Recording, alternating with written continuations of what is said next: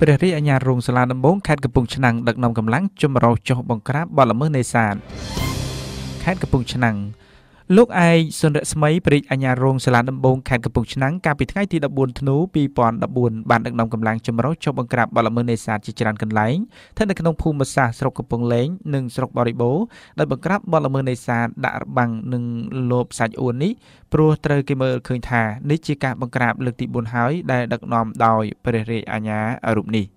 នៅក្នុងកិច្ចប្រតិបត្តិការខាងលើនេះរួមមានមន្ត្រីនគរបាលខេត្តនិងនគរបាលប៉ុស្តិ៍រដ្ឋបាលផ្លូវទូកចំនួន7នាក់មន្ត្រីផ្នែករដ្ឋបាលជលផលកំពង់លែង3នាក់ ប្រជានេសាទស្ម័គ្រចិត្តនៅក្នុងសហគមន៍នេសាទឃុំកំពង់ព្រះកគីចំនួន24នាក់ប្រើប្រាស់កណូតបាឡាចំនួន8គ្រឿងនៅក្នុងនោះកណូតប្រជានេសាទ6គ្រឿងនិងកណូតរបស់នគរបាលប៉ុស្តិ៍1គ្រឿងនិងកណូតជលផលចំនួន1គ្រឿង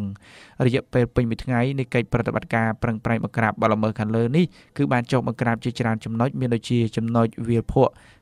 ពីមខ្នងក្រពើស្គមស្លតខ្នងនិងកន្លង100នៅក្នុងទឹកដីឃុំផ្លូវទូកស្រុកកំពង់លែងចំណែកស្រុកបរិបូរវិញរួមមានចំណុចព្រែកថ្លាន់និងបឹងធំនៅក្នុងតំបន់អភិរក្សពូជត្រីឃុំកំពង់ព្រះកគីជាលទ្ធផលបង្ក្រាបបាន មានកាប់បំផ្លាញរបាំងសាច់អួនចំនួន21របាំងមានប្រវែងសរុប 1500ម៉ែត្រដែលកាត់យកលបលូចំនួន